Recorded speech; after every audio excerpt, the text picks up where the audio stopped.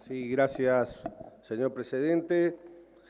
Expresar mi rechazo, como lo han hecho quienes me han antecedido en, el uso de la palabra, al golpe de Estado que se llevó a cabo en el hermano país de Bolivia, donde se forzó la renuncia del presidente constitucional Evo Morales y el, y el vicepresidente García Linera.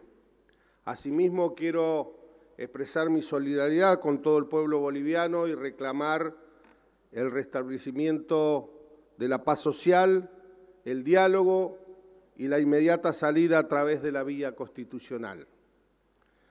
El ejercicio de la violencia impidió que concluya legítimamente el mandato de Evo Morales, alterando el curso del proceso electoral. Nuevamente, con el apoyo de las Fuerzas Armadas, se interrumpe el orden democrático en América Latina.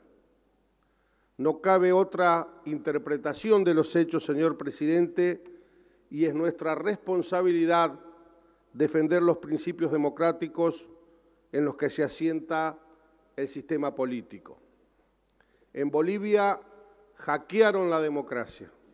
El sistema político que por definición le da la voz al pueblo, el que ofrece garantías de libertad y nos iguala en el derecho a elegir a quienes nos gobiernan.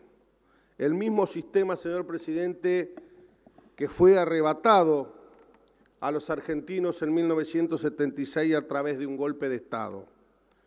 Un golpe de Estado despreciando la vida y la identidad a partir de la corrupción y la muerte ese sistema que nos costó sangre y memoria recuperar le está siendo robado hoy al pueblo de Bolivia. Si no hay democracia, cae la ideología. Sin democracia gana la violencia. La democracia es un principio rector insoslayable para cada uno de los pueblos de nuestra querida América Latina.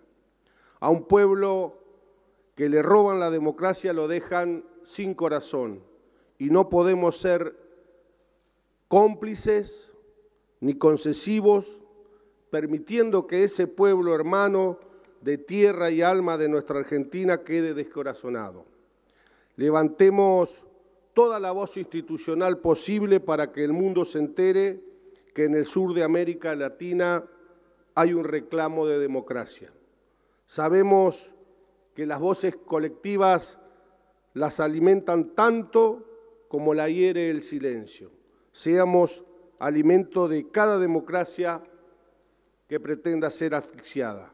Como país, señor presidente, somos responsables de decirle al mundo que elegimos la libertad. Y yo creo que no es momento de que seamos tibios, independientemente de la ideología política con la que nos identifiquemos. La defensa de los gobiernos elegidos por la soberanía popular es nuestro deber si queremos construir una sociedad libre, justa e igualitaria. Más y mejor democracia, señor presidente, será siempre la respuesta para resolver los conflictos políticos y las situaciones de injusticias. Muchas gracias.